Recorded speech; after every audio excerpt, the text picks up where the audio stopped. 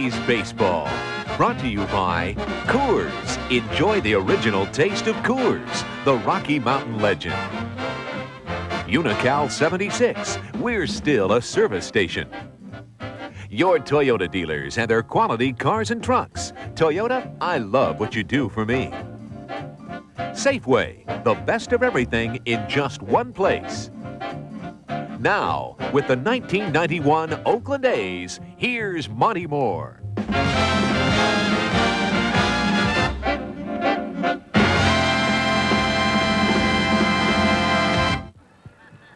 The Oakland A's television network is on the air live from Arlington Stadium between Fort Worth and Dallas, Texas, for the start of a series between the Oakland A's and the Texas Rangers.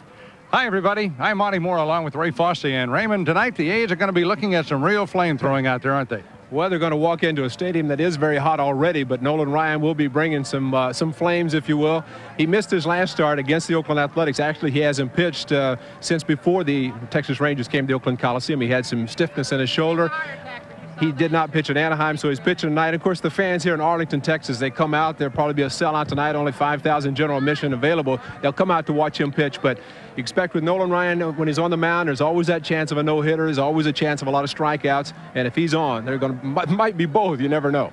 Well, it's been comfortable for the A's the last couple of years, uh, right about this time, because they've had a big lead. But so you want a dependent race? Here it is. Western Division, that is really something. Starting down there, well, right above Kansas City. Look at Seattle. They're only five and a half games out. The Oakland A's are in the very unfamiliar position right now, uh, fourth place, but just three and a half behind Minnesota because the White Sox are the hot team in the league right now. They keep playing very well, especially at the Metrodome against the uh, Minnesota Twins. Now, the Twins will go on the road and play Toronto and Chicago after just playing those teams at the Metrodome, so they have a little bit of a tough schedule going into the All-Star break. The Texas Rangers are in front of the Athletics. Of course, this three-game series, the A's can take care of that by beating the Texas Rangers 2 or 3 or sweeping them here in Arlington, Texas. What chances you think there might be of that, Ray? The way the A's have been playing at home and they get good hitting, they don't get the pitching, but it seems to be sort of turning around, though they did blow one last night. Well, I think the key is getting good pitching. If you have good pitching and defense, you don't have to score that many runs. The A's offense has scored a lot of runs in the first half of the season. The pitching's coming back, and I think when you look at that, if you get the good pitching and offense and defense, you don't have to score that many runs. Just score three or four. Get to the act. That's the key. If they can do that. They're going to win a lot of balls. Well, they were just within one pitch of maybe doing that last night in Oakland before finally the bullpen came in and let one get away. Speaking of pitching, which we do quite often here following the A's, A's pitching coach Dave Duncan is going to be Ray Fosse's guest when we come back in just a moment.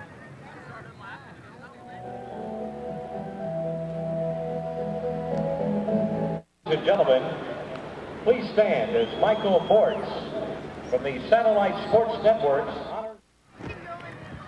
Back at Arlington Stadium, we're joined by pitching coach Dave Duncan. And David, your starting pitchers, uh, several of them are pitching on three days rest. Why, why did you and Tony decide to do that uh, before the first half ended? Well, we first of all we felt like that at this particular time they were physically capable of doing that, so uh, it, it, made it a consideration. I, I think probably uh, uh, looking at the schedule and uh, when we looked at it, there was 13 games and there was a way that we could. Uh, pitch 10 of those games with Stewart, Welch, and Mike Moore. we felt like that would be an advantage for Stewart be able to get him out there uh, a little uh, on a little bit more uh, regular basis, a little quicker. Uh, maybe that would uh, help him get his uh, pitching back in order, and it has in the past, and we were hoping maybe that would work again this time. Uh, and I think we just um, wanted to try to make the best of the of the 13 games when we made that decision. How much closer do you watch a pitcher when he's pitching on three days rest, closer than you would watch him under normal circumstances? Well, it depends on what he did his prior start. Uh, if he threw a lot of pitches in his prior start, we would be paying uh, especially close attention to him uh, uh to make sure they didn't uh, labor out there or uh, maybe fatigue themselves too much. If their prior start had been uh, relatively easy, minimal number of pitches, uh, then you know it's going to be pretty normal uh, as to what we would let them do. Speaking of laboring, when you walk out in this heat here in Arlington, Texas, you just labor, you start to sweat, perspire. What does this heat do to a starting pitcher? Well, I think most of them like it uh, from the standpoint it's easy to get loose, they feel good, um, they stay loose. Uh, so from that standpoint, they like it. But uh, if they have a long inning out there, or as the game goes on, they're, they're going to tire a little quicker, and uh, uh, the the heat's going to take a lot out of them. So uh, you can't push them uh, too hard in, in this kind of weather. All right, David, thanks for the visit. That's Dave Duncan. Monty, back up to you. All right, thank you, gentlemen. Here's the starting lineup for uh, skipper Tony LaRussa and the Oakland A's tonight. Rickey Henderson leads it off and plays left. Ernest Riles will bat second, playing shortstop. Jose Canseco in his right field in the third spot. Harold Baines, the DH. Terry Steinbach is catching and batting fifth. Jamie Quirk hitting sixth tonight. He's the first baseman. Willie Wilson is in center field, so there are a couple of changes in the A's lineup. Vance Law is at third base, batting eighth. Mike Gallego is at second base, where last night he turned in some fantastic plays again. Defensively for the Texas Rangers will be Dean Palmer in left field. Juan Gonzalez is a center fielder. Ruben Sierra, the right fielder. Steve Buechele is at third base. Jeff Huson at shortstop. Julio Franco is the second baseman. Rafael Palmeiro is at first base. Ivan Pudge Rodriguez is the catcher for the Texas Rangers. And on the mound, 44-year-old right-hander Nolan Ryan with a record of 4 and 4. 2.71 earned run average, making his third start of the season. He has two complete ball games, 83 innings, 97 strikeouts. He's third in the American League in strikeouts. Of course, he has not pitched for a couple of weeks now.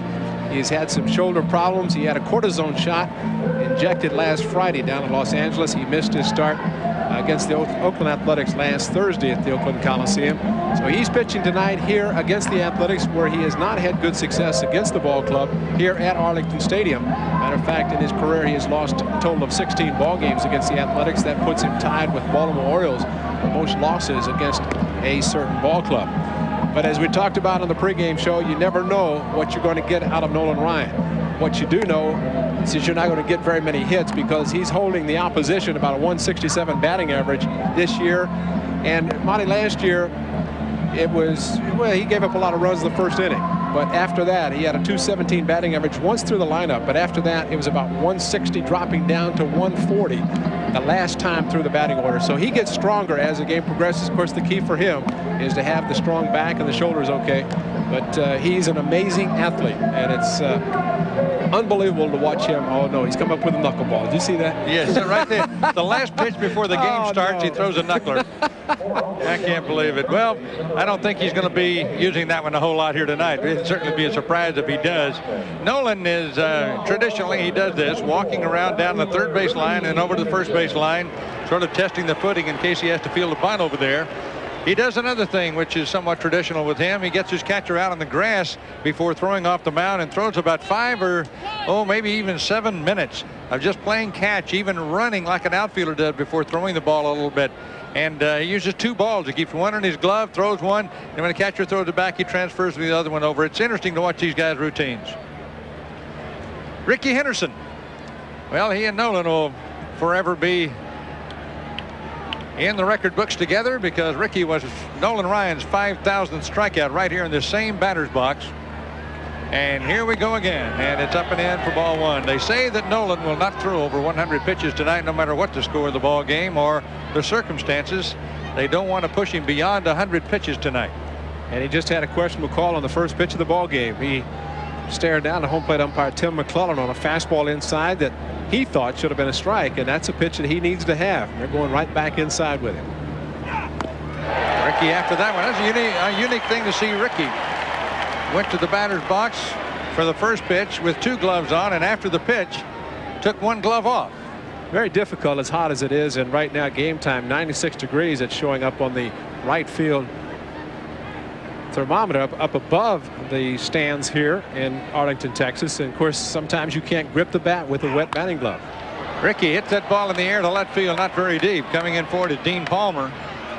And he has got him for the first out. This is not an easy home run ballpark, folks. One of the toughest, as a matter of fact, in baseball, depending on the wind, which is coming in tonight somewhat over the right field fence towards left.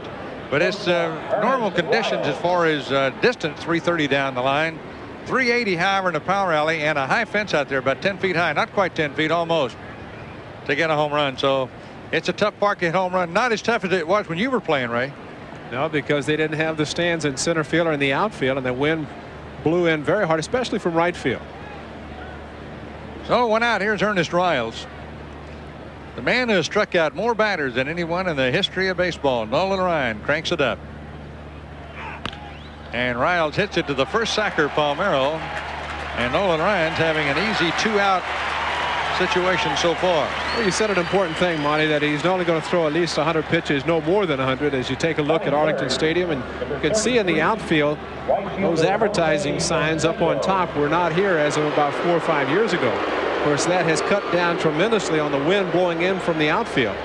The stands have always been here. Of course, that's what hurts the Texas Rangers, those seats in the outfield. They have more general admission seats than they do reserved and box seats. And of course, you can't get as much money for those seats out there as the ones around home plate. You know what they're going to do is reach a million here tomorrow night on their 34th home opening date, and that'll be the earliest they have ever reached a million in attendance. And oddly enough, it's the same date on which the Boston Red Sox reached a million up there this year. So the Rangers are drawing right on a par with the Red Sox so far. Here's an interesting confrontation every time they get together. Canseco and Ryan. Last year in a ballpark, we said on the air, wonder what would happen if Jose swung as hard as he could and Nolan Ryan threw it as hard as he could, and we found out in the game. Jose met one and hit way up into the seats and left. After that fastball, he fouled it off. Started to say about the 100 pitches, the Athletics, the first two batters, Nolan making four pitches and getting two outs. If you know a pitcher of this quality is only going to throw 100 pitches, think it would behoove you to go up and take a few pitches, yeah. make him get those pitches out of the way, and maybe get him out of the ball game in the fifth or sixth inning. Missed inside with what looked like a breaking ball. He called it a strike. Oh, he did. Yeah. Tim McClelland has a very slow. That's right. Call of, of the strike. He will yell it so that the the hitter and the catcher can hear it. But as far as coming out with the right hand, he's very slow and deliberate. And it frustrates broadcasters. That one frustrated the fans because he didn't raise his arm. Two balls, two strikes.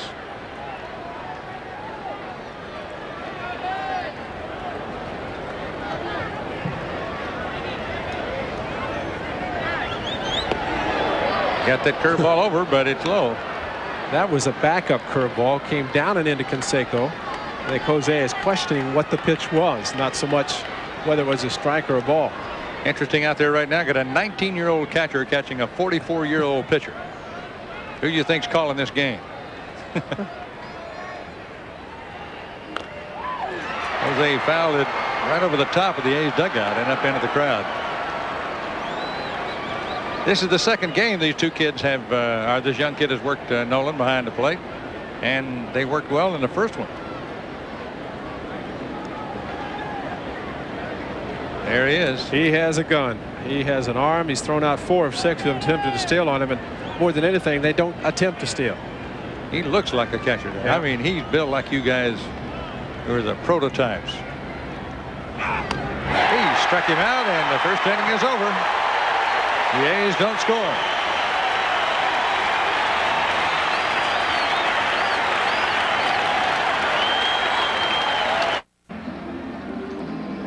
Bobby Valentine has this uh, batting order. He has the man who is leading professional baseball in home runs, Dean Palmer, leading off his batting attack tonight.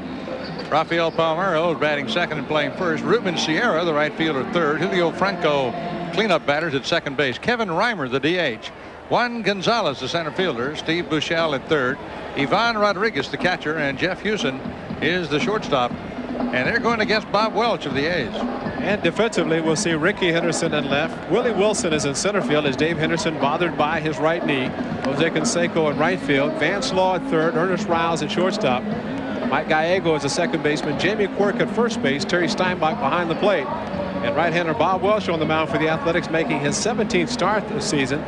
Four complete games. He had only two last year in winning his 27 ball games, 113 two-thirds innings, and the rest of his numbers for Bob Welch, he is perfect in his career against the Texas Rangers 4-0 in six career appearances. He has yet to face the Texas Rangers this season. In fact, he was on the mound when Nolan Ryan struck out Rickey Henderson for number 5,000. Bobby winning that ball game. But Bobby coming back on just three days rest. He had his shortest outing of the year in his last start against Kansas City. Gave up nine runs, eight of those earned in three innings. As Dave Duncan talking, pitchers will be pitching on three days rest the rest of this first half. Dean Palmer with two home runs in the big leagues, but he's only been here about a week. He had 22 homers already for the Oklahoma City Ball Club in AAA baseball. Fouls this pitch off. Has a unique stance at the plate as far as how he holds the bat, but he is a typical power type hitter. He is up there to swing to hit it out of the ballpark. He's played some on the infield, some at first base, mostly in the outfield.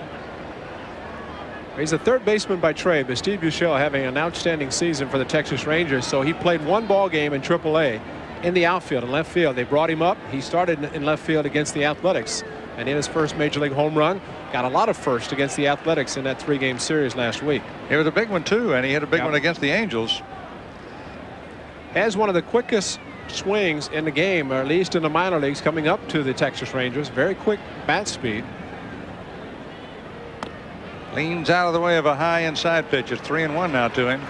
That's something to have a home run hitter leading off your ball club. That shows you what kind of hitting attack the Rangers have. Of course, they're leading the major leagues in hitting there as a team hitting 275. Palmer after that one and fouled it off back into the crowd. That's what you see right there in a 3-1 pitch to Palmer, who's a home run hitter, swinging at ball four. Very aggressive hitter. If he's a leadoff hitter, uh, Gary Pettis or someone like that who would take a pitch and get on to utilize his speed, whereas Palmer utilizes his power. Pops that one up, and it too is going to be back here out of play. You know, eh, looking at his background, Ray, it's interesting. He's only had one year. He signed in 1986. Uh, he's only had one year, really, in which he hit anything like a power hitter might do. Had 25 homers, about 100 RBIs, but everything else he must have had a bunch of injuries along the way because he's just never had but one big year in home runs until this year. Well, it's called maturity. Players start out very young and they may not hit a lot of home runs, but and, and by rights, that's the best way. You concentrate on making good contact. The home runs will eventually come. He changed his stance, opened up a little bit more, and he has the strength to hit the home runs. Squibbed that one past the mound. Mike Gallego's right there and throws him out. No, he looked at a big league pitcher working on him right then. The count got to 3-1. He had a pretty good swing on 3-1. But Bobby got him right there on a great breaking ball. Bobby will throw the cut fastball, which is a version of a slider, but a very quicker break or not as much of a break. The slider he'll throw, the curveball, the forkball, fastball, run it in and away. So he'll throw a lot of different pitches at the hitters.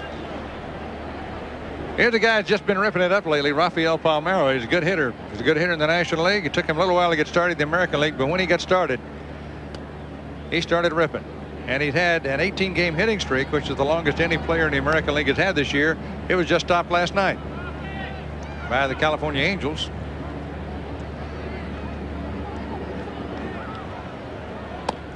That's ball two. Palmeiro has a good eye. He will strike out but he also will utilize the entire baseball diamond. You pitch him outside, he'll hit you to left field. You try to take something off of a pitch, he'll pull it to right field.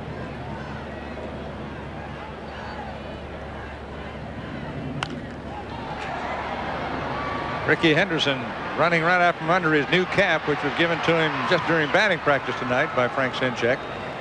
Came out on the bench and said, Frank, I don't have a cap. He said, my bats are locked up. I don't have a cap. Lon Simmons says, well, it doesn't do any good to wear a cap. You run out from under it anyway. And he made a play in over the weekend against Kansas City, one of the best at going down to the corner, turning around and throwing out runners at second base. And he did it with Danny Tartabull on Sunday's ball game, and it was a big play in the first inning of that game. And here's a guy who's knocked in some runs. Ruben Sierra, 56 runs batted in, 12 homers. 332 batting average. Those are some big numbers, aren't they? That's in there for a call strike and a breaking ball. The most impressive number for Sierra is his outfield assist. He worked hard during the offseason on his outfield play. He has eight assists already this year. He had only seven in the entire season last year. And before long, he won't be getting any. They'll quit running on him. Here's the 0-2 pitch.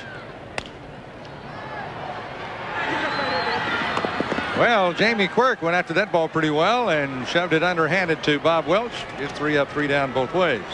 I now turn to page 51 in your Rangers Simulator program. Page 51 brought to you by... Here's Harold Baines.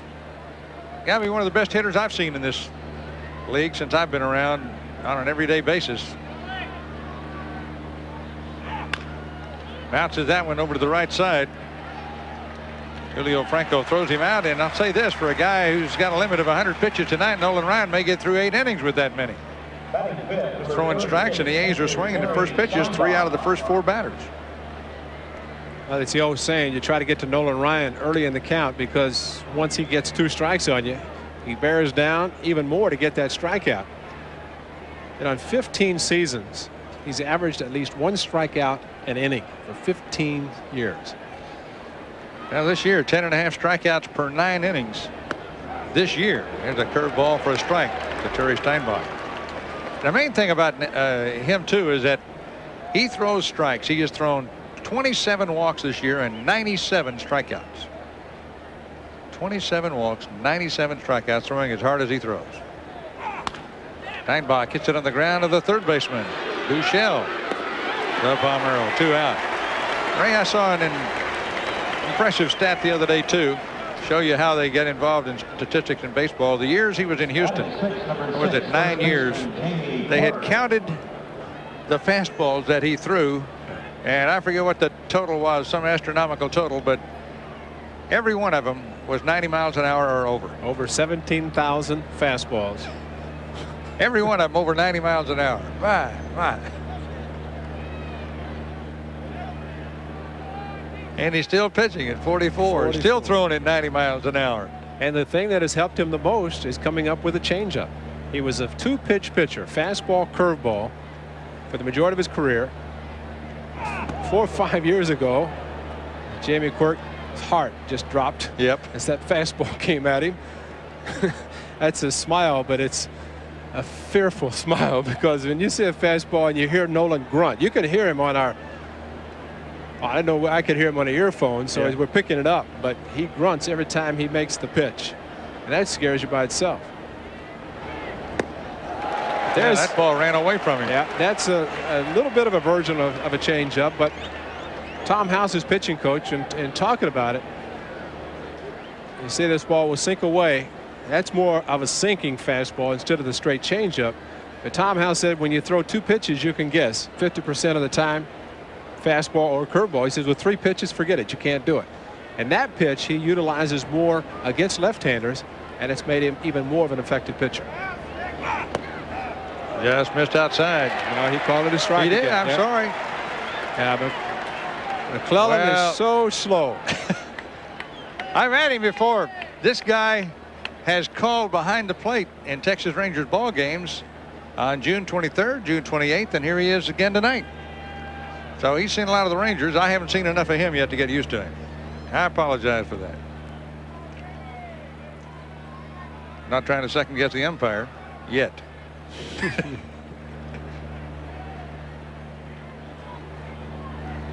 oh, that got him on the foot. If you're going to be hit by an Nolan Ryan pitch, let it be a slow curveball in the dirt.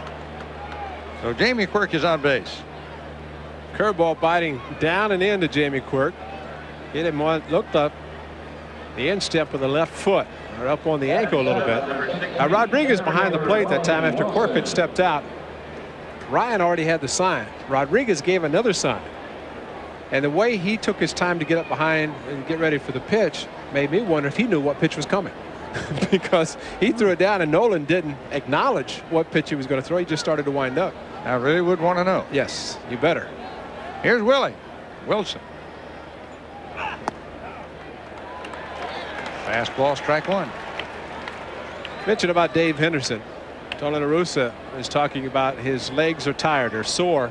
Played a lot during the homestand. Of course, a lot of problems in going into Kansas City with the artificial surface. Tony resting him tonight, left-hander tomorrow.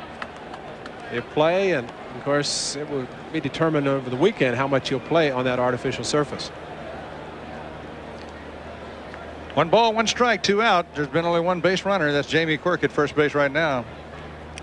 During batting practice tonight, it was 101 degrees. Flashed up on that scoreboard right now. It reads 96.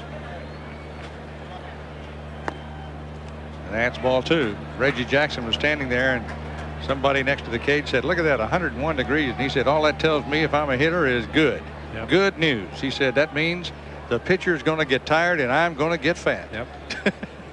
Not many guys look at it like that. 101 degrees. Ooh, what are we doing playing out here? Reggie said, I loved it. Willie Wilson, check swing, pop fly ball to center field. Gonzalez is right there to put it away, and that also puts away the A's. One left, no score. jam-packed Arlington Stadium. It's their fifth sellout of this year. They'll have their sixth here on Thursday. Ernest Riles takes this ground ball off the bat of Julio Franco and throws him out on one pitch.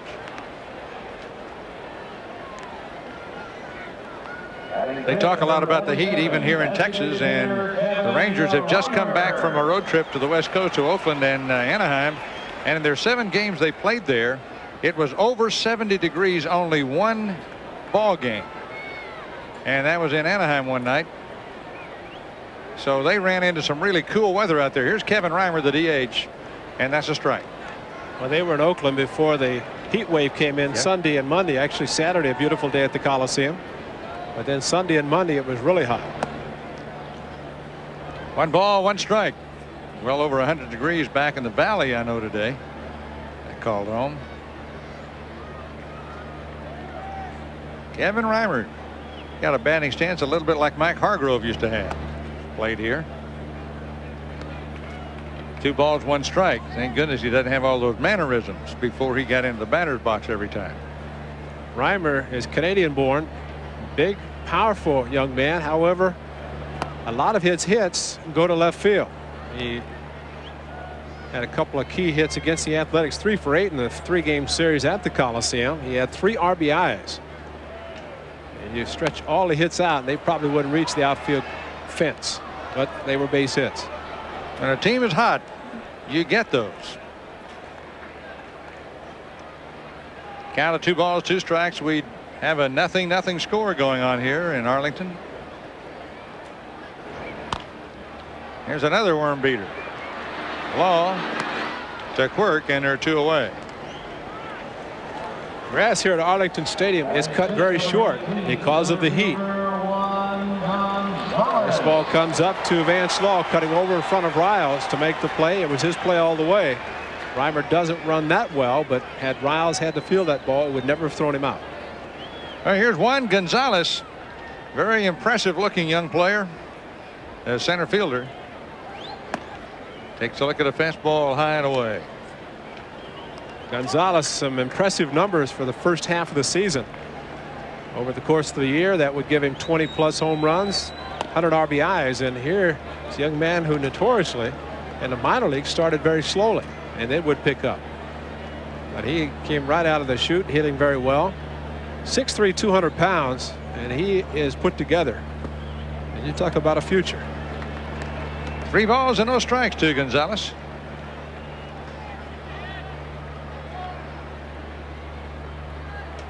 Well, the Rangers have had some outstanding young players in recent years. Here's a 3 0 swing, and he hits it down the line. Rickey Henderson can't get to it. He does stop it, and he may have a shot at him at second. Throw a little offline. Gonzalez never quit running.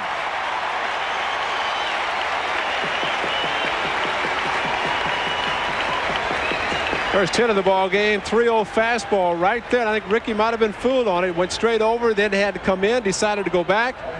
He might have lost the ball the way he went after it, and then threw a ball not too much on the line and not on the bag at second base. This ball a little bit away from Gonzalez with a swing hit the ball on the line, but I think that might probably should have been out number three. Rickey just fooled on the ball. Sort of out on the end of the bat, but there's a good example of what it means to be not only big but fast. Steve Buechele has been not hitting all that well in the last eight ball games, but what he did do was against Oakland.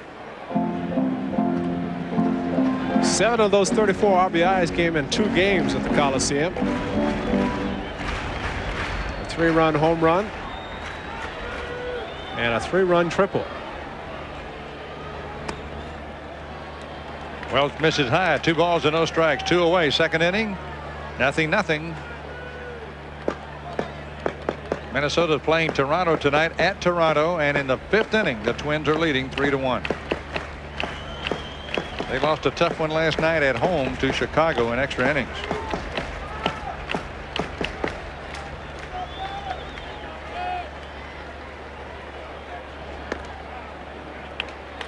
That's just now called a strike. Can you believe this guy?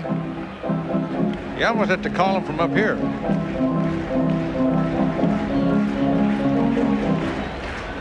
Probably wouldn't hurt just to put the right arm out as or before he came up from his knees.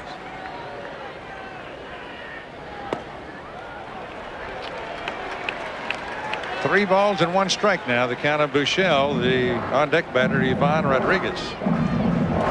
I really don't see why it's asking too much to have an umpire service all the 40,000 fans or so and and everybody else by letting you know as quickly as possible if it's a ball or a strike.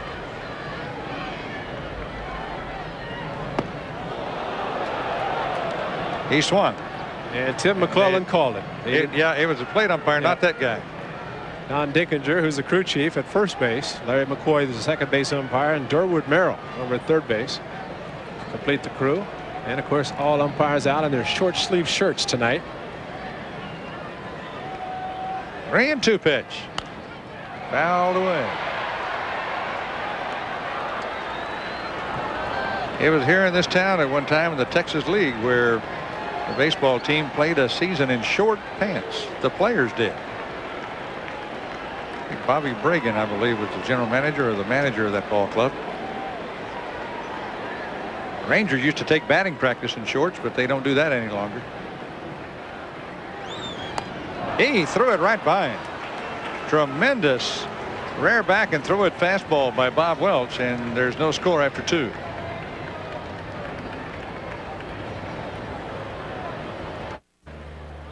Here's Vance Law taking ball one.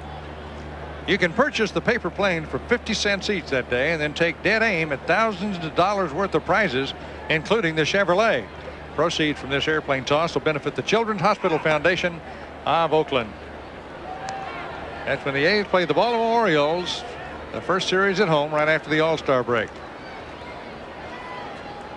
Toed at Nolan Ryan the first two innings. The first inning threw 11 pitches, seven strikes. Second inning, 11 pitches, seven strikes. At that pace, throw 99 pitches, pitch a complete ball game. I don't know that that would be the case the remainder of the ball game. Vance Law after that one is two balls and one strike. Right after the All-Star break, the A's do have a series against the Eastern teams. Baltimore, Cleveland, and the New York Yankees will all be in there. Law pops it up into center. And there's one away here in the third. The A's still without a base hit. Well, Ray, with a pennant race the way it is, division championship race as it may, the Western Division has got anybody almost out there in a uniform got a chance at second half. We've had plenty of teams get hot. It seems like almost every team in the league has had a streak, a winning streak. What's the longest being by the Minnesota Twins at 18. These Rangers had a streak of 14 wins in a row. They also had that followed by what they lose 10 in a row after that. Mm -hmm. The Twins before tonight had lost five out of six after their streak. Gallego jerks it foul. Mike's got to be saying, wait a minute. I take his 95 mile an hour fastball. I pulled a foul. He was looking fastball, got it just out in front a little too much. He got everything working for him. Got the bat through the hitting zone. Just a little bit too far out in front, though. That's up high for a ball. Of course, everybody knows Nolan leads the major leagues all time in strikeouts was over 5,400. He also has walked more than any other pitcher in history. 2,641 walks he's given up. There's not a pitcher alive who wouldn't take his longevity in Major League Baseball and take twice as many strikeouts as walks. Amazing. Over 7,000 batters have gone up and have not made contact. wow. Two and two the count. He's struck out only one so far tonight. We're in the third.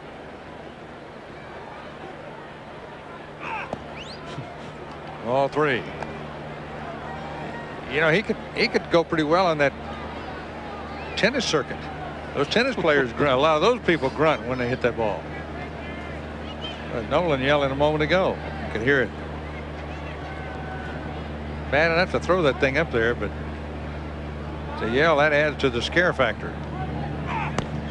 Now he has another strikeout.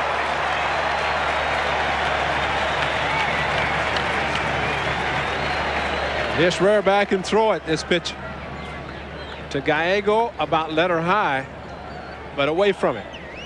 Mike was geared up too. You could tell the way his legs went on that one. Boy, he really took a swing at it. He was ready for it, just didn't catch up to it.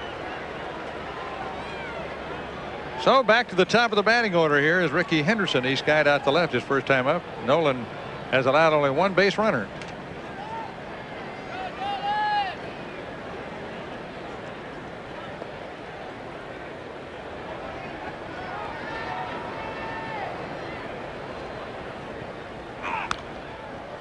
Rickey reaching for that one and fouls it back. Other games going on in the American League we'll catch you up on later. Ray will have as many details as possible, but we're all watching Minnesota, of course, in the Western Division, and they are leading Toronto. The Angels play later. They're still in Anaheim.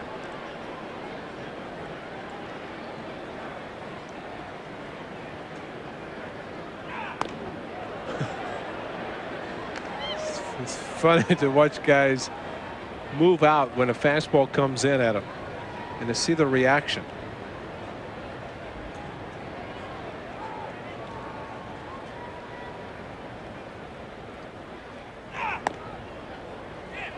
Two balls and a strike. Tell you what, he is not throwing like he has anything wrong with that shoulder. You know, he said out in Oakland he could have pitched that, Yeah. game out there the other night, but the management's the one that decided he wasn't going to pitch. He really wanted to. So if he were ready then, you know he's ready. What, six, seven days later? Nolan was taking his pitching hand over his left shoulder. I think he's looking for a dry part of his uniform to dry his hand. He double pumps on uh, Rickey right here. And misses high ball three. Just as Nolan started to go in his windup, Rickey straightened up at the plate and leaned back as if he were timing Nolan. So Nolan went down to another pump. The old double windmill windup from the guys uh, many years ago. So Rickey gives him a double pump. Yep. Rickey started that a moment ago, and he worked a walk out of it. Now it'll be interesting to see if Rickey, who leads the American League in stolen bases with 29, tries to run here with two out against not only Nolan, who's easy to run on, I believe, because of his high kick, but this young catcher turns it around the other way. Definitely will help. Of course, if Nolan throws the fastball, it gets to the plate much quicker. And Rodriguez with his gun, but now is the perfect time for Rickey to try to run. You do not score that many runs off Nolan Ryan's as a rule. They're slowing it down right now for one of the world's largest beach balls to be taken off the field. They had to go all the way to center field to get it. About as far away from a beach as we're going to get in this country. But let me tell you, if there were one around here, there'd be some people on it in this hot weather. It's interesting to see some of the stories in the paper down here about weather we may pass on to you later tonight. Rickey's gone and he got a jump. Won't even be a throw. It looked to me as if maybe Rodriguez didn't get a good grip on that ball because he never did even throw it. It's exactly what happened. Plus the left-handed batter, a little tough for him to see whether Rickey was running or not. Boy, Rickey hit a he hit a wet spot out there and didn't slide. Now watch him here. See, oh man, Yeah. that's like throwing a retro rocket right there. He hit a wet spot, and watch Rickey. He ordinarily would have slid all the way over that bag.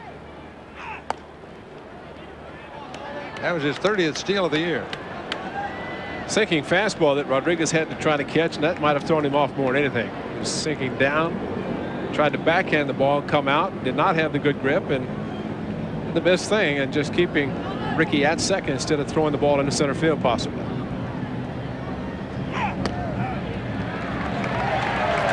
Two balls and one strike now. A base hit could give the A's a run. Ken hit a home run off Nolan here in this ballpark last year that was really a rip.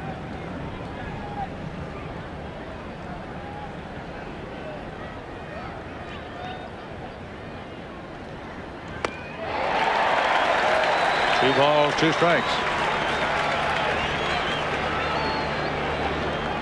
Nolan Ryan needs only one more strikeout to have 22 consecutive seasons of striking out at least 100 batters a year.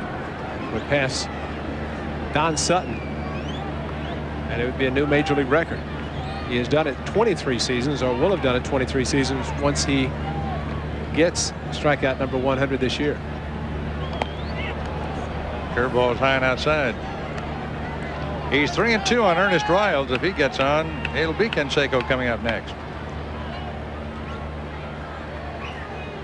Has to be frustrating for any pitcher, especially one of the caliber of Nolan Ryan, to miss a start. Had to come out of his previous start after five innings because of that stiffness and then not feel 100% in what he throws.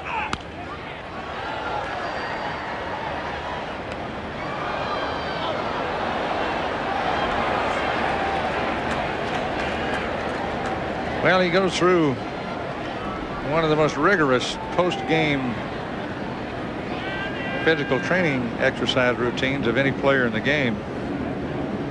And in between starts, big on weights.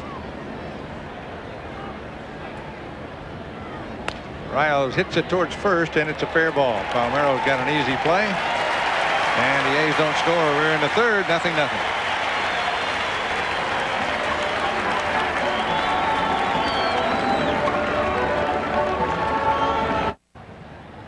Here is Ivan Rodriguez, the Rangers' 19-year-old catcher, the youngest player in the major leagues today. And he takes a curveball strike from Bob Welch.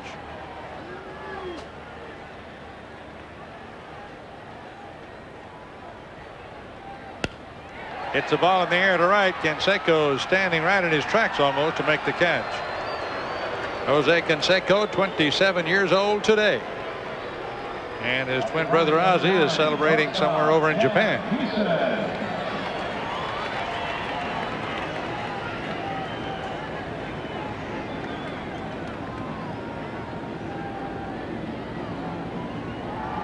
There's Jeff Huson, one of the tallest shortstops in the big leagues today.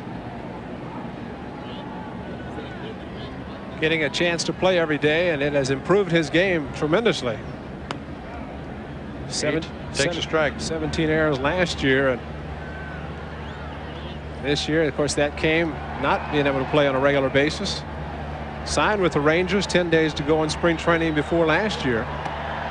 Or was traded to the Rangers from the Montreal Expos. Done a good job for them.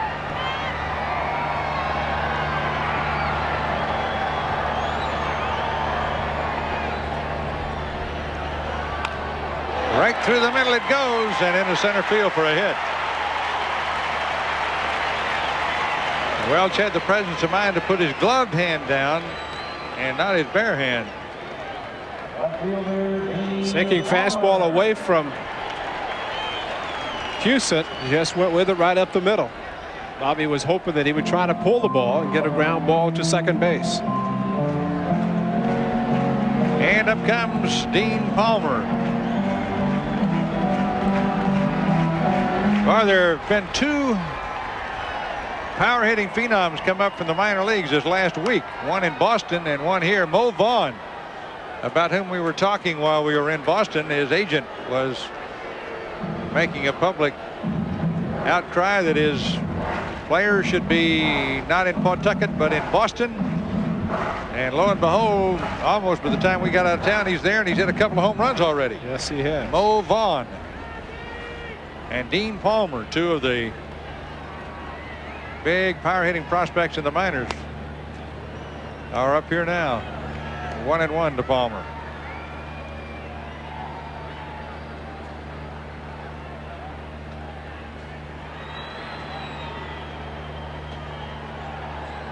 Palmer was up briefly last year towards the end of the season. But did not have that good of success. Huson's running. Steinbach's throw goes out into center field. Houston doesn't know it and didn't advance. Boy, that one really slipped out of Steinbach's hand, probably from sweat. And that's exactly what you'll see with a lot of players. Good cut fastball, and Terry just lost it. I mean, that was but a good fake by Gallego at second base. Even pounded the mitt with his fist to make it sound like he caught it.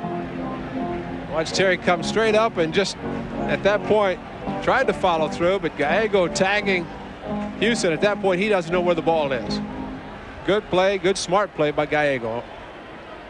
Could be a big one, too. Keep that runner at second base. One and two count on Palmer.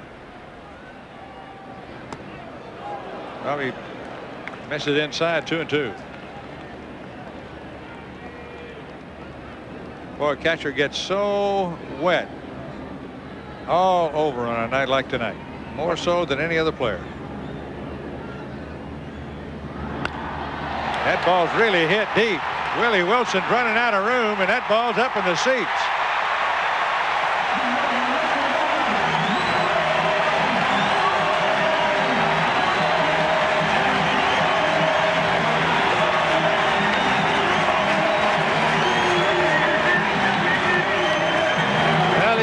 Power to left field, but he just showed some power to right center on that ball. Third home run of the season, 10th RBI. And he goes very well with a pitch outside, and that ball shot out of here. Not only outside, down and outside. Look at that ball. That's not just over the fence. That's up in the bleachers. So it's two to nothing Texas, and Palmeiro hits one to right field. It's gone. Really up there.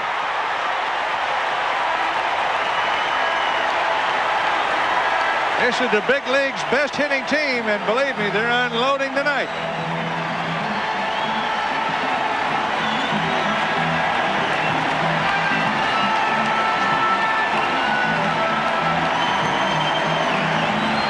Bobby working very quickly came in, and Palmeiro also working very quickly, jumping on a pitch, and that went several rows deep into right field. Oh, a single by number nine hitting Jeff Huson, followed by Dean Palmer's homer and Rafael Palmeiro's homer. And here's another bomber right behind them, Ruben Sierra.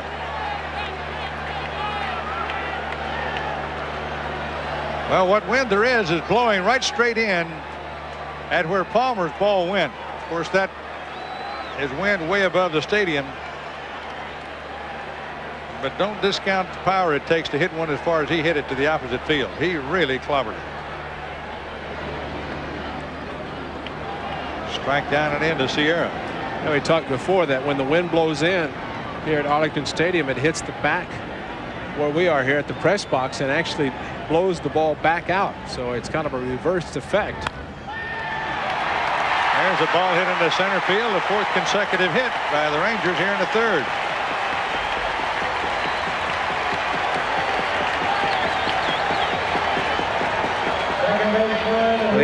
Don't need this. They need the starting pitcher to go, even though Bobby pitching on three days rest. Low curveball right up the middle. They need Bobby to go six or seven innings and not have to go to the bullpen too early. Although this heat and Bobby coming back with just three days rest, although he not throw that many pitches on Friday night. Throwing 62 in just three innings. Julio Franco takes a look at the curve and it cost him strike one. The Rangers did not get in from the West Coast until 7 o'clock this morning. Into their homes, they said. They flew from Anaheim. Their game didn't start down there until 7.30. The A's had a 6.15 start in Oakland and got in here at about 4.30 this morning at the hotel. There's a strike. So both teams were in the air flying late last night. Rangers got here at 6.15 tonight at the ballpark. They did not take any batting practice at all. The A's came out and took some. Rangers are having some now.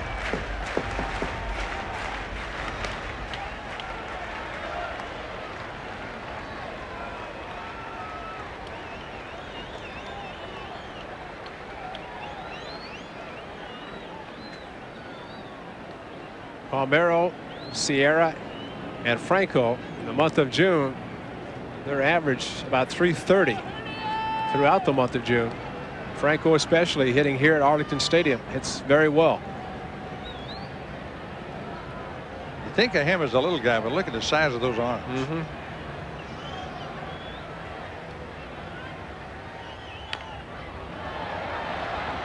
That one kicks off foul. Well, every series from here on in is going to be a big one. So you look at maybe Baltimore and Cleveland coming to Oakland, and you think in terms of the way you used to think when those teams came in, it wasn't going to be much of a series. But let me tell you, every ball game now that the A's play, if they're behind Minnesota three and a half games, might be more than that after tonight with the Twins leading Toronto. So the draw the rest of the season is going to be the championship in the Western Division is going to be outstanding. And every game you play is a big one. Franco is out of there for Bob Welch's second strikeout. I'll be doing a good job staying away from Franco. He has that bat wrapped around his head. However, handles the pitch inside very well. Comes Kevin Reimer. It was the Cleveland Indians that helped the Minnesota Twins to their long winning streak. Minnesota beat Cleveland seven straight times in that streak. So the A's, in order to stay in there, are going to have to do somewhat the same kind of thing. So every one of those games is going to be a big one. And they'll be in Oakland next trip. And Cleveland has scored a lot of runs against Oakland this year for some reason. They haven't scored many against anybody else. They have already lost 49 ball games on the season, winning only 24. Lost 21 of the last 23. That's, that makes going to the ballpark tough. Ooh. Until you look at your check. One ball, one strike on Kevin Reimer, the Texas designated hitter. Sierra is at first base. Has stolen 11 times this season, been thrown out only four. And with two outs, Reimer, who does not strike out much, the possibility of getting at second base in scoring position. He's running, and there's a hit right through the left side of the infield. He's trying for third. Rickey ought to get him. The ball is not caught on a one-hop throw from Rickey Henderson in shallow left field. If Law catches the hop, he's got the guy out by plenty at third.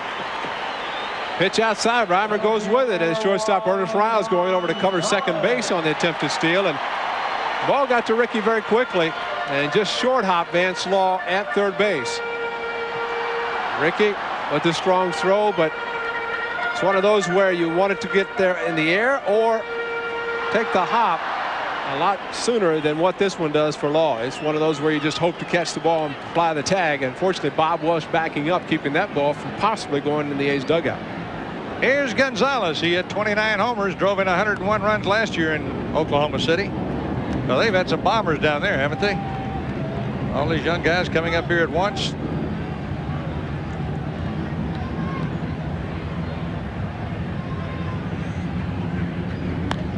Pops that one foul. They've had what they've called the three amigos here in Texas over the years. Well, they may have to add a fourth with this guy. The amigo quartet.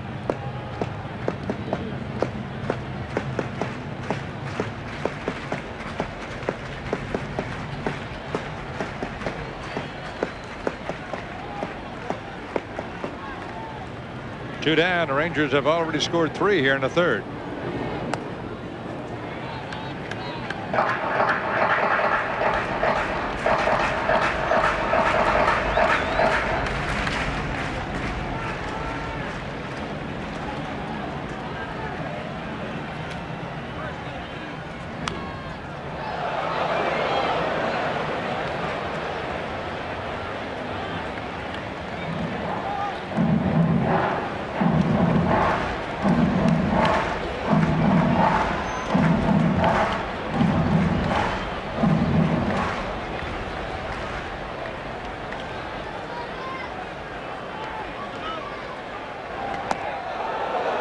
Inside to Gonzalez.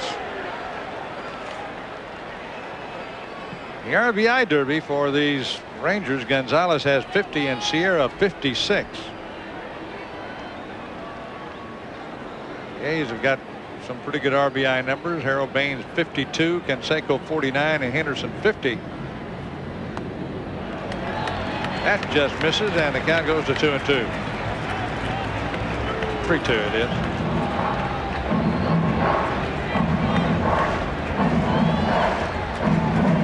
Burke is going to hold the runner Reimer at first base to try to keep him close in the event the ball is hit on the ground and perhaps in the hole, the first or second, they could possibly get a force at second base.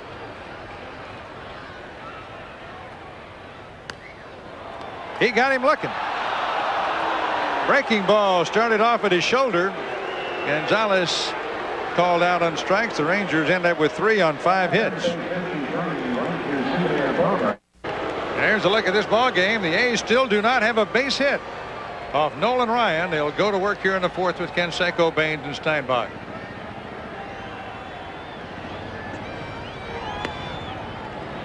Strike on a curveball to Jose. Well, the A's have to get a hit because they don't want to put the pressure on Bobby Valentine and Tom House, the pitching coach, once Nolan Ryan hits that 100 pitch mark, whether to leave him in or not. Two strikes to count on Jose. Well, Nolan's had seven no-hitters, including one against the A's last year.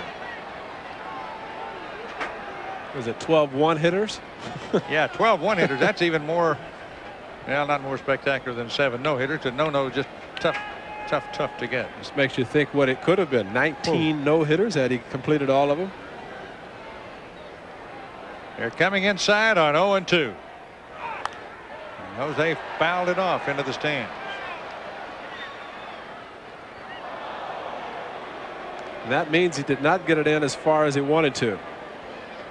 Canseco leaning over the plate. Sometimes that keeps a pitcher from being able to drive that pitch inside of the right-hander. Although I don't think Nolan is that type. He will throw inside, but it's usually from the waist down. He very rarely throws up and in. Jose hit it in the air to center. Sounded as if he might have broken a bat. A lot of times a pitcher will go inside with a fastball and sets up an outside pitch, but Ryan right back inside. Figure with his good fastball, power hitters who like to extend their arms anyway.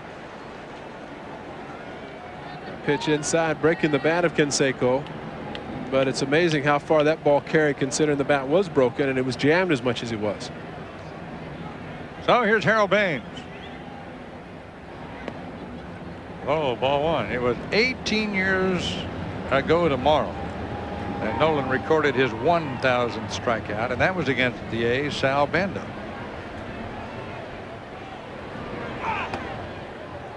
Consider how incredible it is that this guy keeps on doing what he's doing. When you think that there's a young pitcher by the name of Scott Erickson who throws awfully hard, and in this his first year really, he's already ailing and on the disabled list. There's one that had hit deep. It is way back, and there she goes. My goodness, that ball is way off. That's got to be 25 rows. Harold Baines hit one out of sight way up in the bleachers. It's three to one now, and if anybody's going to hit it, it seems to be Harold. He had a homer yesterday, had a grand slammer on the homestand. The guy just continues to impress. It's incredible to watch this guy swing the bat. 11th home run, 53rd RBI. Watch his swing. That is a sweet swing, folks. And you get a chance to see how far this ball goes up in the seats. It's way above where the camera angle is right there. There you go. Third home run that Baines has hit against Ryan in his career coming into tonight's ball game. He was two for seven or three for seven with two home runs. This makes his third home run. Well, he's done something right against the big guy. There's a fastball. Well, they threw the ball back, by the way, out of the bleachers. See what happened to Wrigley Field today? Uh -uh. And of course, they I guess they started that in Wrigley with the yeah. bleacher bums throwing the balls back out. Or Harry Caray and Steve Stone doing the telecast. The Cubs got slaughtered today, but a home run was hit, and they had the cameras on a young man who caught the ball. He's changed baseballs. Oh, really? He took the new ball and put it in his bag. He had an old ball they threw back out on the on the field and it was dark like mud all over the baseball and fired it back out but it got caught it made it made the uh, the blooper tape yeah he did he was prepared for sure Steinbach fouls it away two and two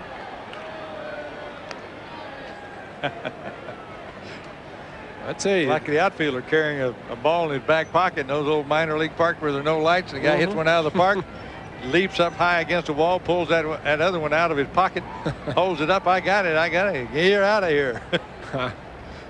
Here's a 2-2 pitch. Whoa, just missed. Rodriguez held that ball a long time for a rookie, I'll tell you. Uh, Nolan a little upset. Of course, he was upset at the first pitch of the ball game. He wants them all. Well, that's an impressive way to break up a no-hitter. About a 440-foot home run.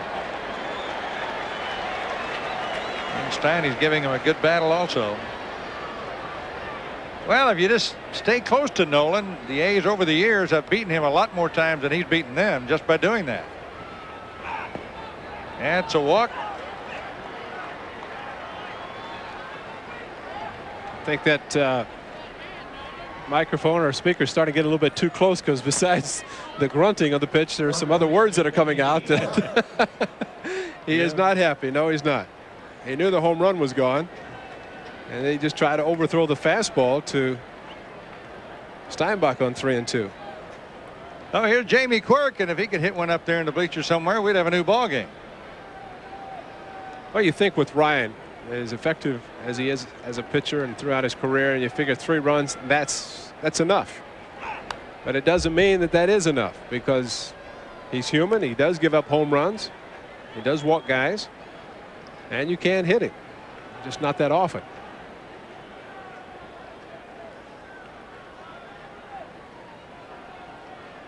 Well, he is definitely one of Texas' leading celebrities among all players football, basketball, baseball, politics. He is the guy. One ball and one strike. The got his picture in the front of the stadium. They're they're selling books about his life in three segments here at the ballpark right now. That ball got away from Rodriguez, popped out of there like he had a sponge. Going down to second base now will be Steinbach. Ryan, Bobby Valentine going out. That ball was up. Rodriguez went up, hit him right on the heel, and after the pitch, he walked out in front of the mound and rotated his right arm. And very quickly, Bobby Valentine out to the pitcher's mound, and Ryan will make the call. Tell you, Ryan's walking away. He's not looking at Bobby, and he stood out there a long time as if something might be uh, might be wrong. Nolan's still walking away. He still hadn't talked to, to everybody's kicking dirt. Look at that. Looking down and kicking dirt. Now they're changing places, kicking dirt. Was that? Nolan's almost have to say this like a mad bull pawing dirt. Get out of here. If Valentine would have had on red, Nolan probably would have charged him. well, when you have the franchise, you wait till the franchise speaks. And the rest of them were just kicking dirt because he was kicking dirt. They, when he said leave, they left. They were dirt kicking good old time on the mound out there. Two balls and one strike now on Jamie Quirk with a runner at second and one out. Three to one, Texas leading. Rodriguez with his third pass ball of the season, his young season here in the major leagues. anything that Rodriguez has against him is the fact his movement behind the plate, and he has a tendency to box up the few. And of course, with Ryan, he starts to get a little bit out of the strike zone. It makes it tough on a catcher because he doesn't know if he's going to be in the strike zone or where he's going to be when you hold the target. You don't have a lot of time to find no. out if you don't know because it's coming up there 97 miles an hour or so.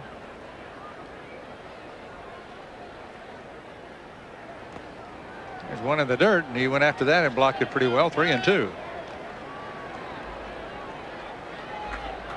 In the old days, they used a round mitt, and every ball that hit the mitt hit right under your left index finger. But now, Ray, their catchers don't have those sore hands like they used to have because they catch it in that trapper's mitt. Well, especially when a guy like Rodriguez is using what looks like a brand new catcher's mitt. Popped him up on the infield. Buechele makes the catch. There was a big comeback out for Nolan right there.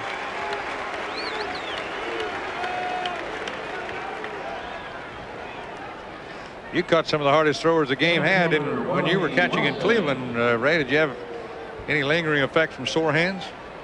Actually, with McDowell, Sam McDowell in Cleveland and Vida Blue in Oakland, that was the toughest. Vida's threw very hard. His ball moved, and you never caught it where you wanted to. And yeah, be puffed up. What made it tough was trying to grip the baseball bat throughout the ball game because your hand was swollen. You could never get a good grip on it.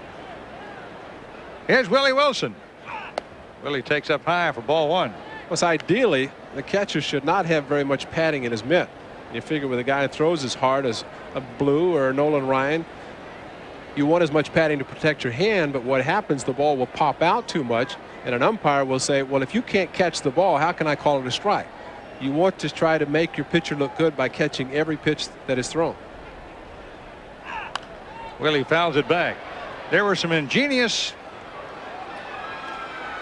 ways, however, of protecting the hands and making sponges back in those days because you can't talk about. I can't tell you where some of those sponges came from, but uh, they went into the ladies department to buy them a lot of times in a department store and uh, also they made little donuts and had those inside the mitt but almost all catchers had some kind of a little padding inside the mitt.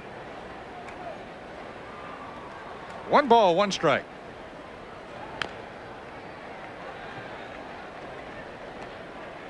Get the feeling that if Ryan can get through five innings, he might be out of here. Just get the five innings, and if the Rangers maintain this lead, he would qualify as the pitcher of record and let the bullpen try to hold it. But he seems to be struggling a little bit right now.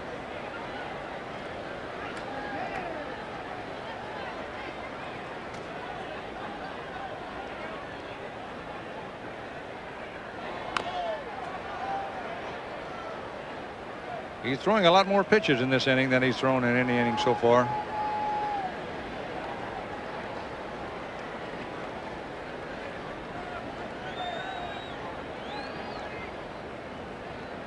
Nolan's son was out in Oakland not too long ago with a group of collegiate players just after the College World Series on his way to Alaska where he's playing in that amateur league up there this summer. He's announced that he's leaving the University of Texas.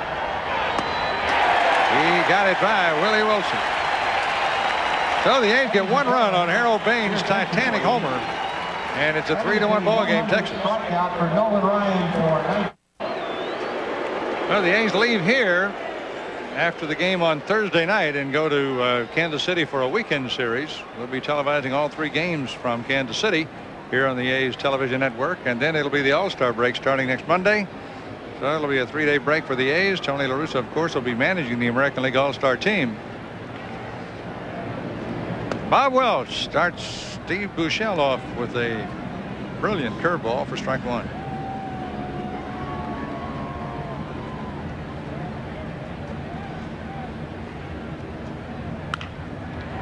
Here's the ball right by a diving Law, and Buechele's on with a hit. Buechele has cooled off a little at the plate after starting off very strong in his batting. It's a base hit there. The more impressive has been his defense at third base. It's one error in his last 52 ball games. Played at second base last night. Second time this year. He's gone 62 ball games there without an error. Now here's Ivan Rodriguez, who last year at this time was playing in Class A baseball with Charlotte in the Florida State League. Get 287 there. Runners going, and a pitch is swung on and missed, and a throw to second base, dropped by Riles. If he caught the ball, he could have tagged him out because Buechele was running like a freight train down there. Definitely a hit and run, a curveball. Steinbach again did not get a good grip. He, you could see, you get a chance to see it again. The ball bobbled as it came out of the glove. You get a chance to see Steinbach watch his right hand. Goes up, and he just did not get a smooth or a good grip on the baseball. Was tailing into the runner, and Riles not able to hold on.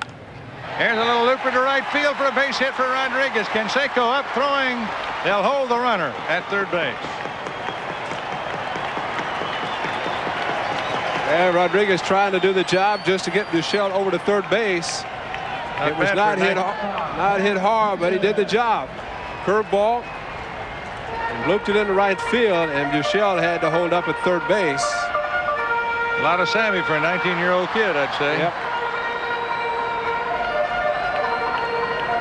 Joe Slusarski is up down in the A's bullpen. Slusarski, one of the starters Dave Duncan saying that he would be available down in the bullpen as the Athletics going with Mike Moore, Dave Stewart, Bob Welch, three main starters, and also Andy Hawkins until, Talking- until the All-Star break. We're talking about Rodriguez being only 19 years old. He signed with the Rangers when he was just 16 years old. He's from Puerto Rico. Oh, nobody out. Runners first and third.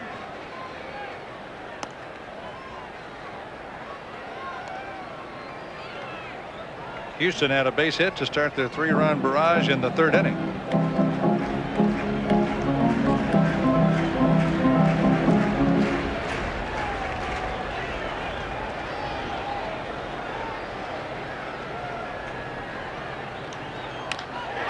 That could be a double play. It's got to be because Rodriguez got nowhere to go. Right. Jamie acted like he didn't know where to go. And that's exactly right. I th- he started backpedaling, looking at third base to see what Buechele was doing, and then thought, well, wait a minute, there's a guy at first base. Watch Jamie stand there. Oh, what? Now I'll go back and backpedal. Maybe he saw Rodriguez out of the corner of his eye and knew he was off the bag. That's a good break for the A's. And a good play by Quirk. Jamie talking to the first base umpire, Don Denkinger. Tell you, he's a good guy. He's he's really something. He was uh, speaking to a father-son banquet out in Orinda at the Orinda Country Club last Thursday night in Oakland. One of the kids asked him what it's like to have a 100 mile an hour fastball coming at you and you're a hitter. And he said, well, I'll find out when we get to Texas because I imagine I'll be in that game and I'm really not looking forward to it. He also told the kid it makes a lot of difference whether he's having it coming at him as a catcher or as a hitter. Right. and for Jamie tonight playing first base, he probably would prefer to be behind the plate, catching instead of being at first base, where he is more familiar as a catcher. Dean Palmer, who had a two-run homer in the third inning, and he hit it well up into the bleachers in right center. Been in the big leagues less than a week. Or about a week. Maybe tonight. 22 homers in Oklahoma City and three here, so he's got 25 homers this year in professional baseball. That's more than anybody playing the game at any level. That's going to be in the seats. Amazing watching Palmer swing. He releases the top hand, very similar to the Walt Hriniak style of hitting. And of course, the White Sox are starting to hit more home runs. Watch him on this swing. It's down and away. And watch what happens to the top end. That is a regular habit of the Chicago White Sox players. And if you can get the extension and make the contact with the power, really doesn't matter what you do with the top hand. And he showed that back in the third inning. Harold Baines got rid of the Yep. ball off the bat a little while ago before he got the top hand off the bat. But he takes it off too.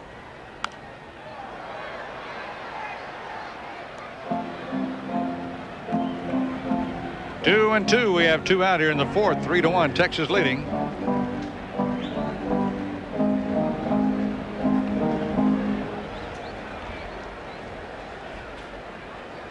Jamie Quirk, of course, the catcher, playing first base tonight. He and Steinbach go over the hitters of the Texas Rangers with Dave Duncan and the starting pitcher tonight, Bob Welch. So might have been they went over to discuss maybe what he was going to do instead of Steinbach coming out.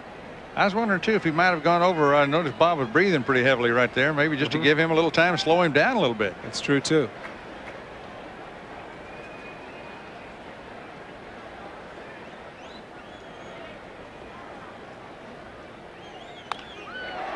Boy, that that almost got one of two guys. Buechele was coming down off the bag, and it's Dave Oliver, the third base coach over there, who had to get out of the way. Well, the runner has to go down the line in foul territory because if he's hit while in fair, ter ter fair ter territory, he's going to be out. And Oliver and Buechele, as Palmer getting by, uh, getting around on the pitch inside very quickly. Going to be a tough play right there. Law, too late at first, another run scores.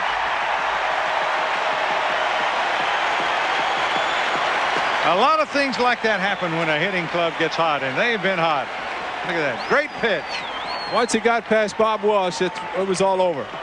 There's Law coming over, trying to make a good quick throw. He did, but Palmer, with that swing, was out of the batter's box very quickly. It was almost running at full speed once he made contact. Right there, the swing, and he's out of the box. It's almost a perfect pitch. You can't make a better pitch than that. You can have a lot better luck. Now Palmeiro hits one to deep center field. Hurry back, Willie. It is out of here.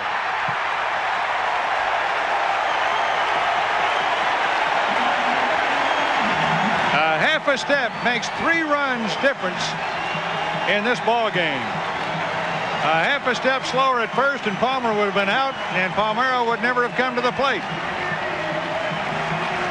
to hit his second home run of the game. And it's on the first pitch, as was the case in his last at bat. One inning ago. Uh, this time it's to center field. Last inning to right field. And would you believe coming into tonight's ball game, and this is where you can take statistics and throw them right out the window. Palmeiro career against Bob Welch coming into tonight's ball game, two for 15. Two for 15. He's hit two home runs and two at bats off of him in two pitches. Yeah, and Welch was 4-0 against the Rangers. Ruben Sierra takes it outside. Yeah, we tend to be overburdened in baseball with statistics, and you're exactly right, Ray. You might as well throw those out in every game. It's a trend, but that's all. Got him finally. But it's another three-run inning for the Rangers, and they now lead it six to one.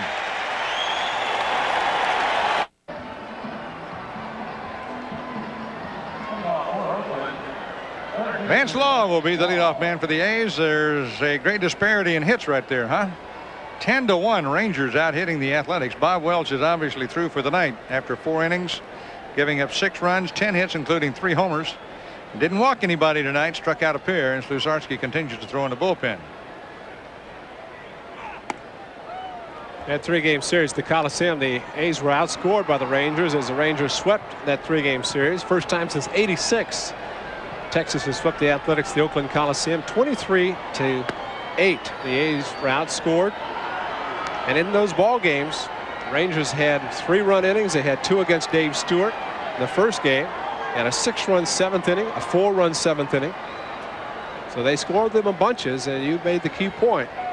One miscue opened the door, and three scored. Yeah, a half a step better on defense or slower on the part of Palmer as a runner. And they don't score any runs in that inning. We should go back to the hit and run. Where Buechele was out by 10 feet, and he ended up safely. And get a break with a line drive for the double play. But the Rangers are hot. And they're swinging the bat.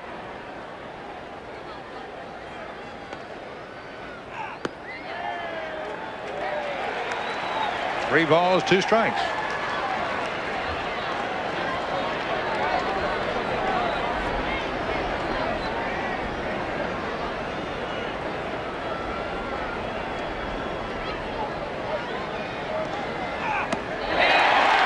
Ryan leaves him up there with his 101st strikeout of this year. Fourth tonight. Well, he's the point now. He has a five-run lead. There's no question what he's going to throw three and two. Nothing fancy. Not even turning the fastball over. Just rear back and throwing fastballs.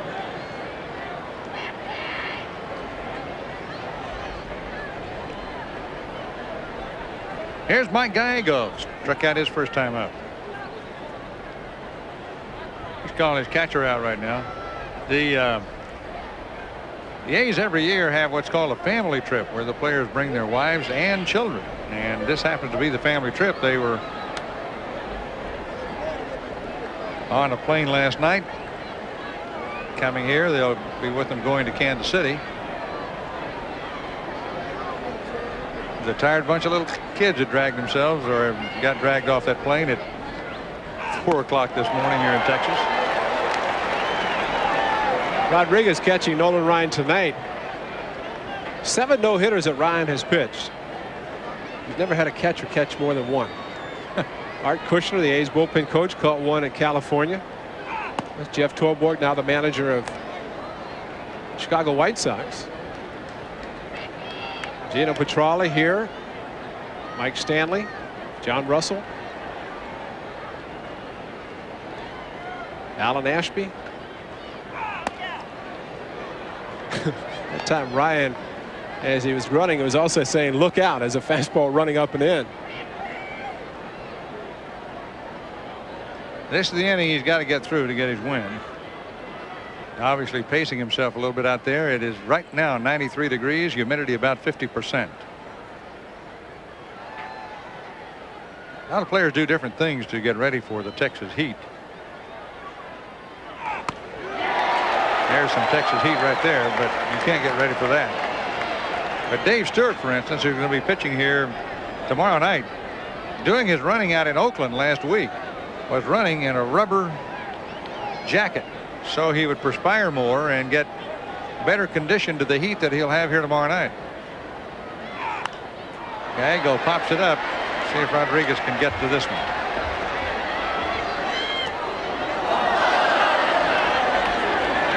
Nope. Well, there are a lot of the A's pitchers who are out running this afternoon. Mike Moore, every time he goes to a new area, he will go out and run. Try to get familiar with the climate. Andy Hawkins said he took a little jog out on the asphalt and the concrete. He said it's about 120 degrees on the concrete. He said he barely got up more than a walk and he came back soaking wet. Dennis Eckersley always runs around the stadiums in the American League. And it's ball three.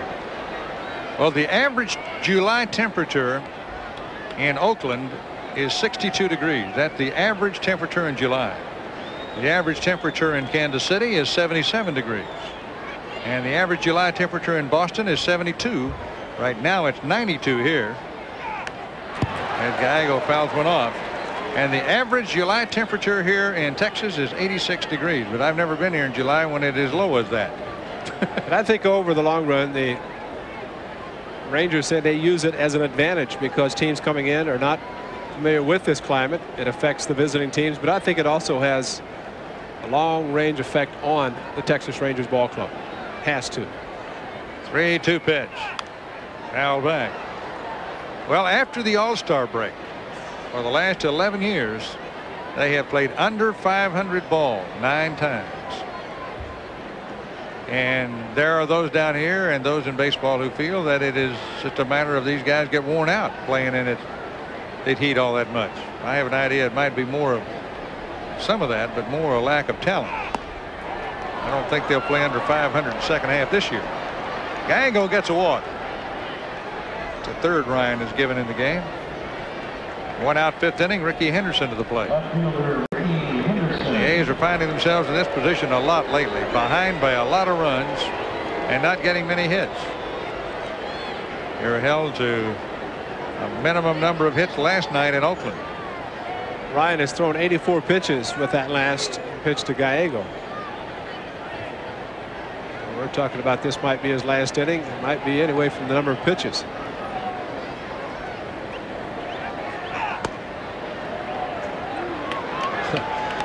Same pitch was the first one of the ball game, and he didn't give it to you then, Nolan. He's not giving it to you now in the fifth.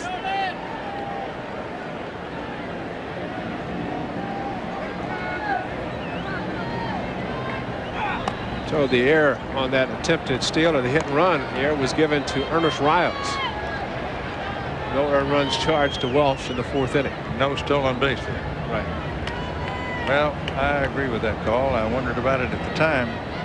Hit him right in the glove. He just obviously took his eyes off the ball and looked at the runner coming. Never, never got to second base until after the ball bounced out of his glove and he crawled a few steps. So he's still perfect. He has never he's not stolen a base this year. He's been caught three times.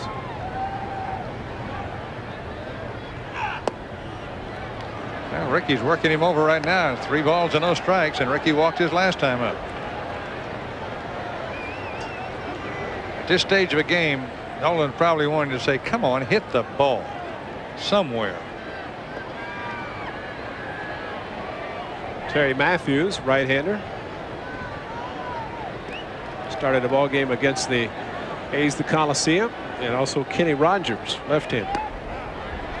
Matter of fact, Matthews started in Nolan's place last Thursday at the Coliseum.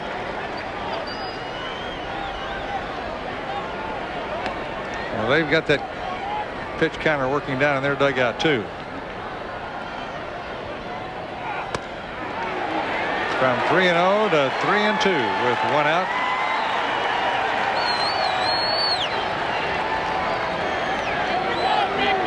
Now Rickey's got both gloves off this time up there. He told us one night that his gloves get sweaty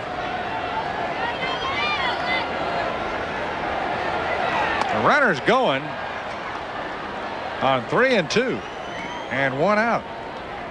And it's ball four. Shortstop Ernest Riles.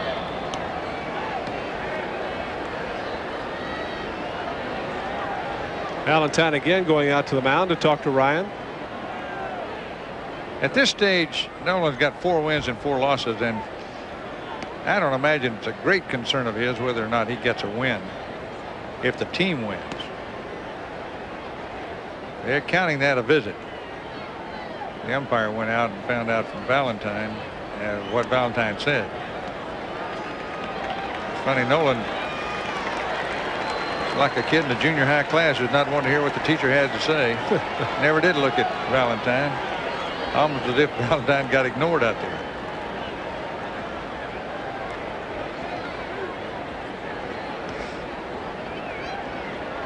Here's Ernest Riles, twice as grounded out to first in the game.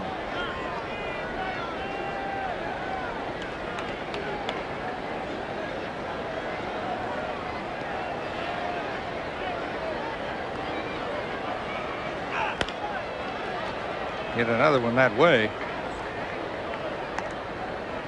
That's a little thing we were saying earlier. If you could just stay close to Nolan, you knew he was only going to be able to throw 100 pitches tonight, and stay close to him, you got a good chance to beat him almost every time. Then we had the misplay from the throw from left field to third base. That had to be an out. You had to have an out on that throw at second base with Buechele running.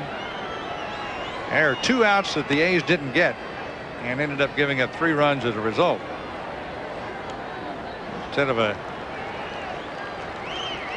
three to one game, we got a six to one game.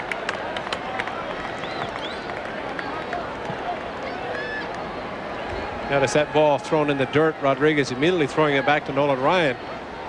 Doug Jennings will attest that you never asked to see have the umpire check the baseball with Nolan Ryan on the mound. I remember that. That's a ball, two and one.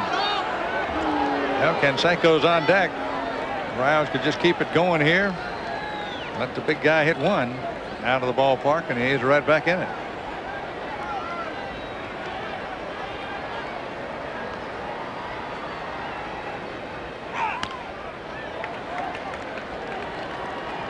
They're going to have a new ballpark here in Texas sometime, here in Arlington, as a matter of fact. Very close to where this one is.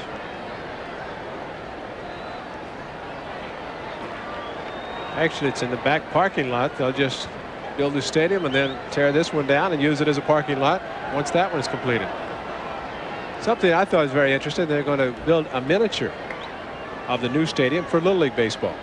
All right. Right near the new stadium here at Arlington Stadium will be Arlington, Texas will be a miniature version that the amateur leagues will be able to play in. Fourth hitter this inning, all four have gone to the count of three and two to Nolan Ryan. Two walks and one strikeout.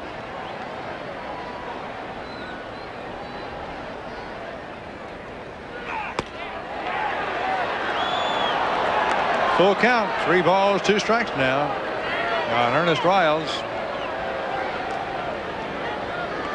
Gallego at second, Henderson at first. They were running on 3-2 with one out. Kind of doubtful if they did it here. A left-handed batter with Gallego at second base, but much easier for Rodriguez, even with the slow delivery. Riles muscled up on that one and jerked it foul.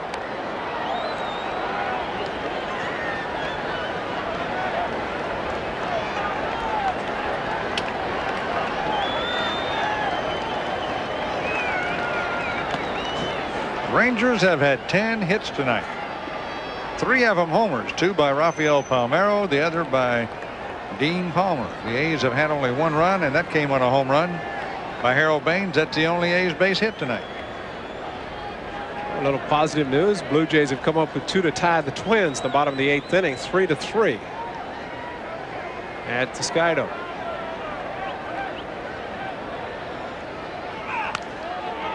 Got him on a pop-up. Infield fly rule is called. Wiles is automatically out. Nolan got a gigantic out for himself and the team right there. He doesn't throw a strike right then. They got the bases loaded, one out, and Canseco. Now they got two on, and Canseco with two out. Yeah, Buechele and giving Ryan a little breather. You have Canseco fans out in the outfield with a banner wishing him a happy birthday. Boy, there was a, a wild scene around the A's batting cage tonight, batting practice. Some teenage girl ran out of the stands with a Jose Canseco banner sign right up to the batting cage, right where he was, and it took several people to get her away. She was she was about to get in a fight with a lady officer out there. Canseco pops it foul back here. Here in Texas, batting cage is very close to where the stands are, and they let the early fans get in there right on those first few rows and just stand and yell at the players hoping for autographs. This girl hopped the fence and went right on over there. After batting practice, Jose spent about 15 minutes signing autographs over there, all that mob scene. That's high for a ball, and it's one and one on Jose.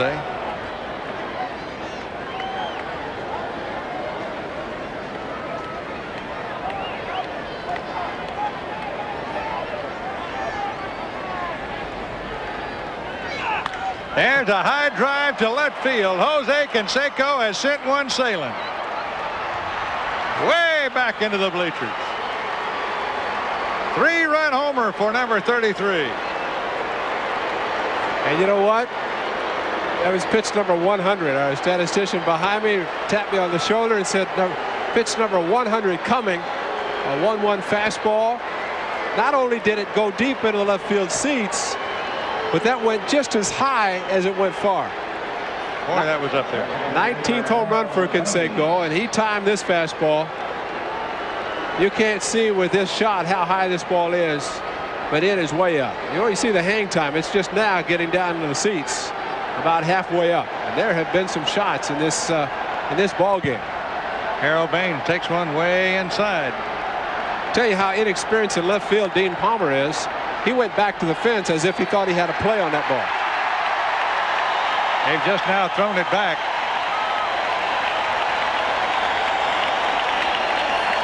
Like to well, see, when they pick it up, it'll have a dented spot on it. like to see left fielders not even take a step. They just turn around and admire the distance of the home run. Baines went as far distance-wise from the plate a little while ago in right field, but it wasn't nearly as high.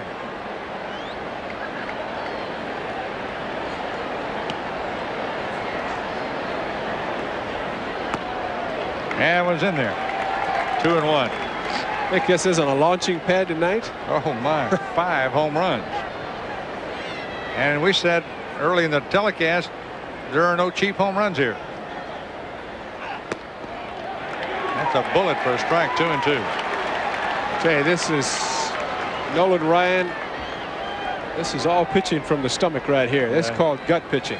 He is out of petroleum out Yep. there. He is out, but yet he keeps firing it. And that last pitch to Baines. He got him pitch. looking. Baines looking at McClelland as if to say, why me for the mercy killing? Well, the A's get three runs in the inning and have made it a six to four game.